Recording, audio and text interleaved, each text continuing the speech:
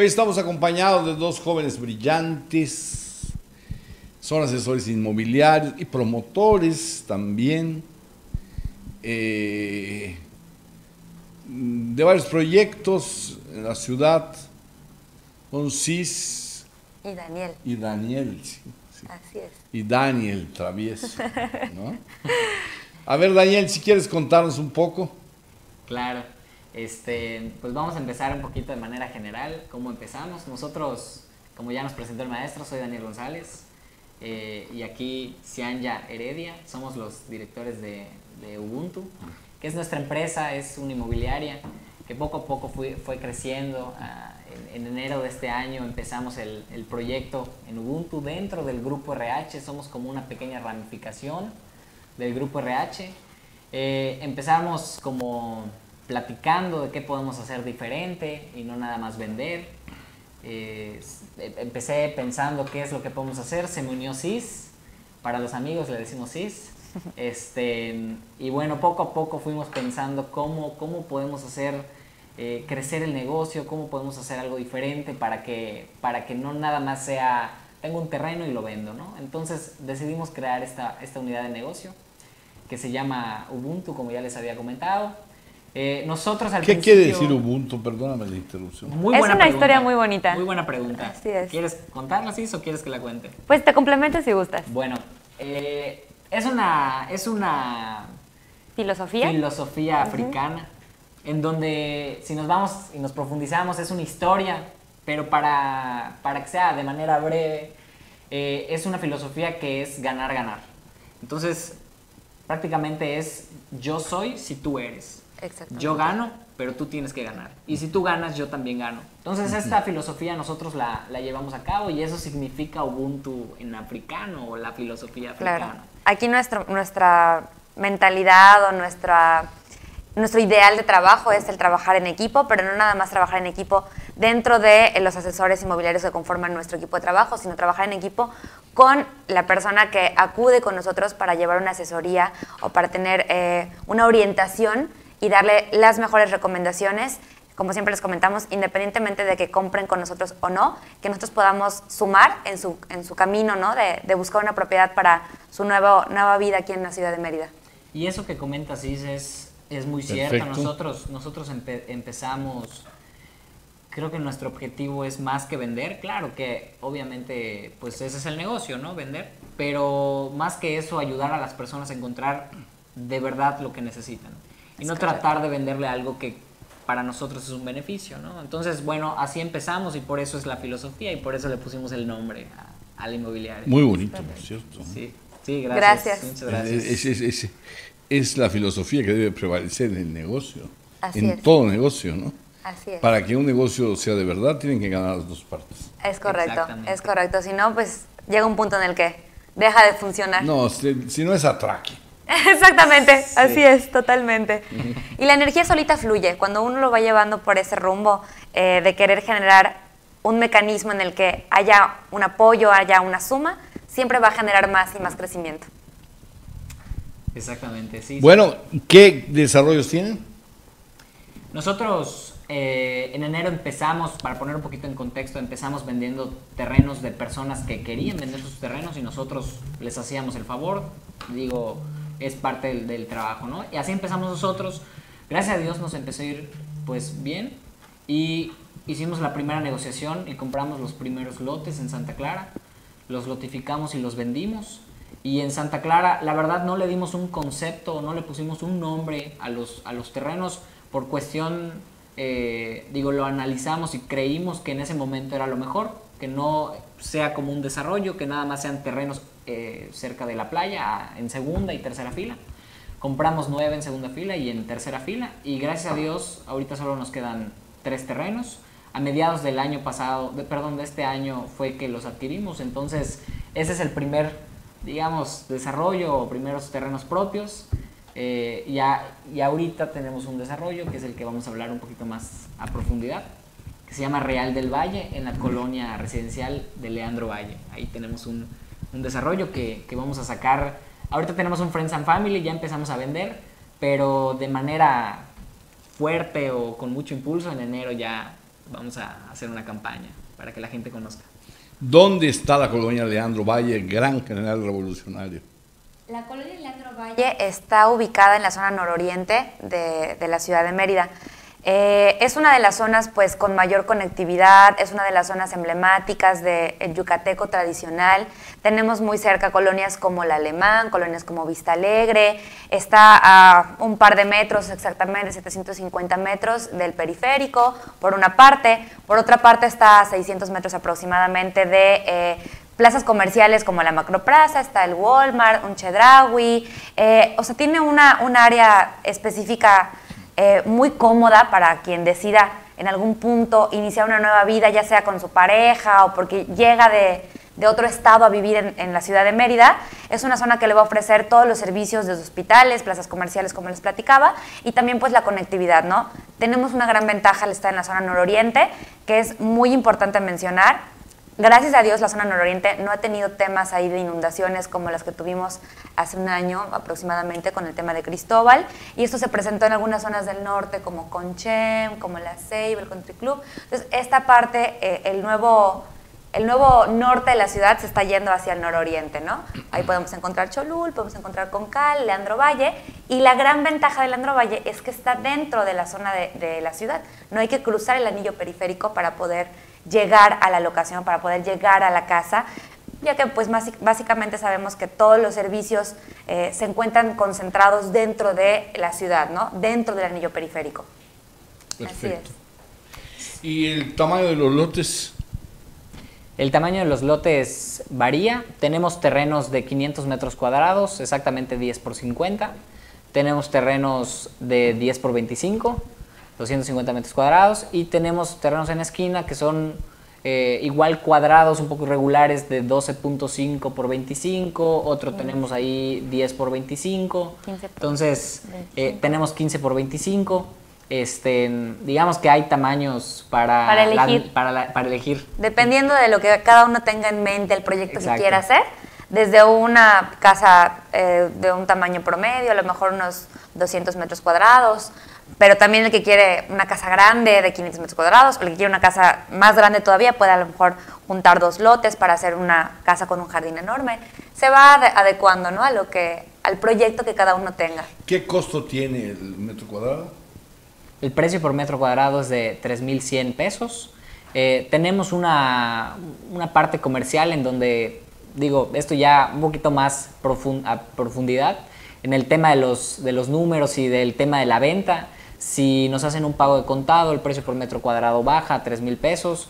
Eh, esos son los números que, tiene Real del Valle. Concisos. Y tenemos la, gran ventaja de que podemos contar con un financiamiento.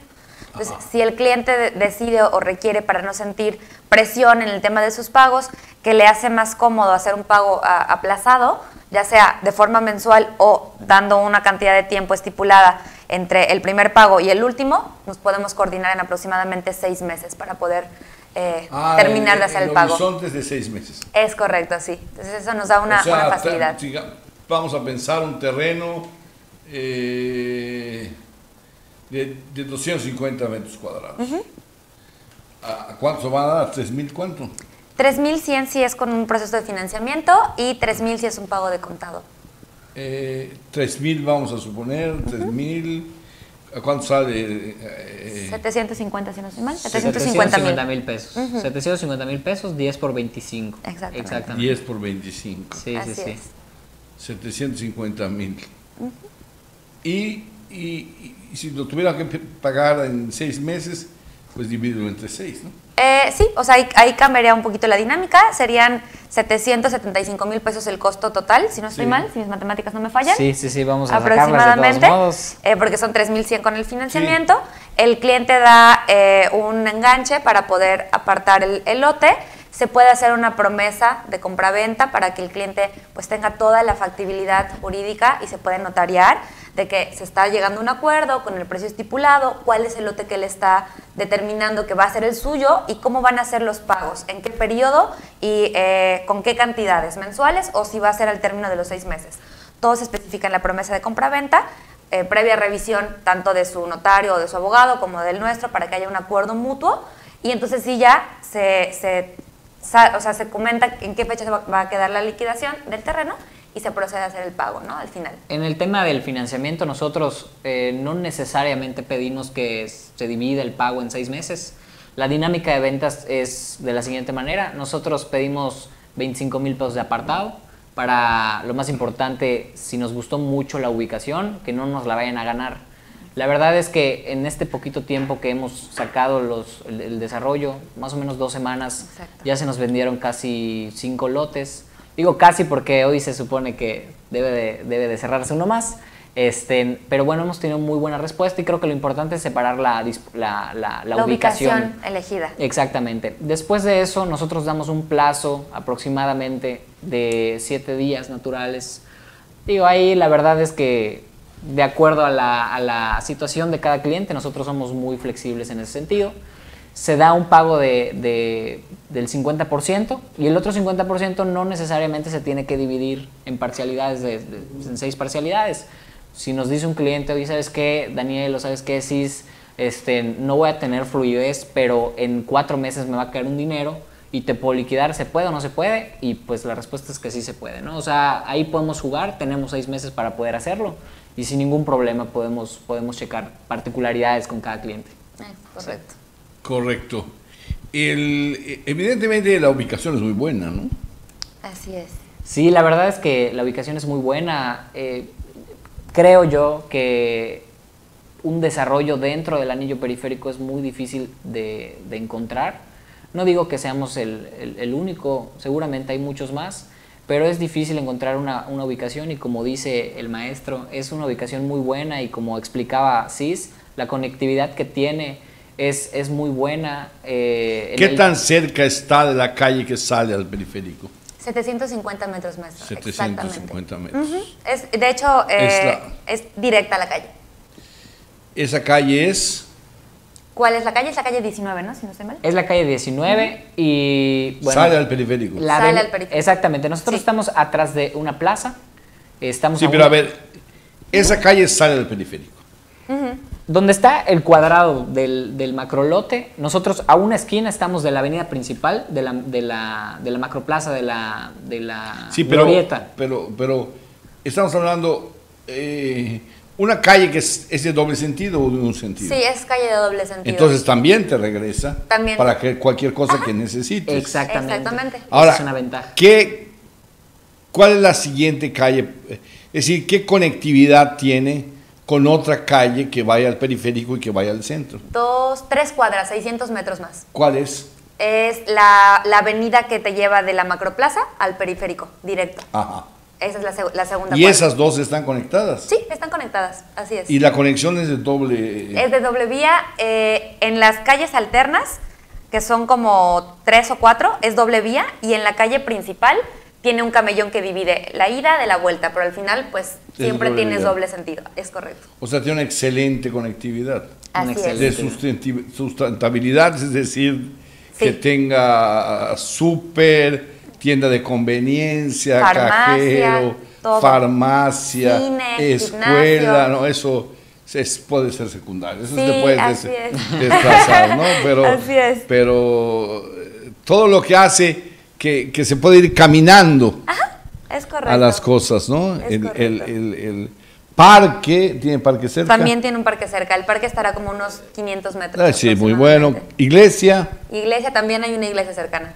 Ahí está, es. todo eso le da lo que se llama el nivel humano, lo que comentábamos. Las correcto. ciudades están hechas para los humanos y para caminar. Así es, así es. La verdad es que, bueno, yo, yo no viví precisamente, no crecí precisamente en esa zona tan cercana, pero eh, mi casa o casa de mis papás, eh, su casa también, está muy cerca. Entonces, para mí era muy, muy cómodo el poder de repente salir de la escuela cuando todavía iba a la universidad y decir, ay, voy a ir al cine. Entonces agarraba eh, o ya sea transporte público o camión o el coche y llegaba en cinco minutos. Entonces, todavía Leandro Valle está más cerca de donde yo vivía. El, el cine, por ejemplo, está tres minutos. O el súper está cuatro minutos caminando. Entonces, definitivamente el hecho de que tú ni siquiera tengas que utilizar un vehículo para poder moverte, que lo puedas hacer caminando y además pues hagas un poquito de ejercicio, el que tiene mascotas que pueda salir a caminar al, al parque que puedas disfrutar de ese nivel de vida que tenemos en Mérida, que no se tiene en todos los estados, es una maravilla. Bueno, el chiste realmente de este desarrollo, eh, que no, no es ningún chiste, es una cosa muy seria, eh, la maravilla, la fortaleza que tiene es que está dentro de la ciudad Es correcto. y que está en ese sentido perfectamente bien, eh, perfectamente bien establecido con las tres cosas que le dan valor a un terreno. A un terreno le da valor el paisaje, eso no es cierto. El paisaje es para vender. Sí. A un terreno tampoco le da valor las famosas amenidades, eso no es cierto. Eso es, encarece.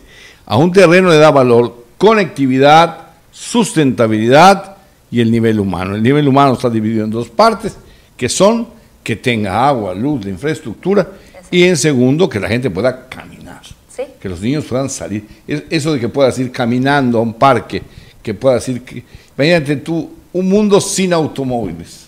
No, sería una maravilla, maestro. Sería una maravilla un mundo sin automóviles. Además de que ayudamos a reducir la contaminación, nuestro cuerpo se mantiene mejor, ¿no? Más sano, más activo. Pero sí, definitivamente, eh, la calidad de vida que uno tiene. Pensando, por ejemplo, en personas jóvenes como nosotros, que a lo mejor todavía yo no tengo hijos, pero Dani sí, y que quieres ver a tu hijo crecer en una zona segura, que quieres ver a tu hijo crecer eh, tranquilo, disfrutando del parque, disfrutando de, pues alrededor hay cafecitos, hay lugares en donde puedes sentarte a comer un, heladito con el niño, o sea, y el que no tiene familia como yo, que sales a caminar con el perrito, que sales a platicar con un amigo, que sales a hacer ejercicio al aire libre, eso no tiene comparación. En ciudades grandes, eh, yo vengo por ejemplo de Guadalajara, este, pues viví buena parte de mi niñez ahí, no tuve la oportunidad de disfrutar de esto hasta que llegué aquí a la ciudad de Mérida, es que conozco esta calidad de vida y esta forma de vida diferente. Yo estaba acostumbrada a siempre pues encerrados en, la casa o si ibas a salir dentro de una plaza porque la zona de la seguridad es diferente en, ciudades más grandes. Y es por ello que mucha gente actualmente está llegando a vivir aquí, ¿no? Con nosotros. O sea, en- encontramos un- una migración tanto del mismo turismo o de la misma gente que vive dentro de Mérida, perdón, dentro de, de la- de México, como de extranjeros en otros países. Entonces, es una, es una bendición el tener toda esta calidad humana, calidad de vida cerca. Y bueno, Real del Valle tiene todo esto para ofrecer. Así es.